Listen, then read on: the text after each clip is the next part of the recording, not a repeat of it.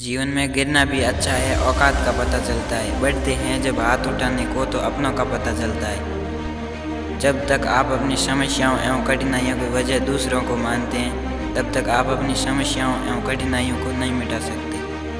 जब लोग आपसे खफा होने लग जाए तो समझ लेना आप सही राह पर है। उस जगह पे हमेशा खामोश रहना जहाँ दो बॉडी के लोग अपनी हैसियत के गुण गाते हैं। दुनिया की कोई भी परेशानी आपके साथ से बड़ी नहीं।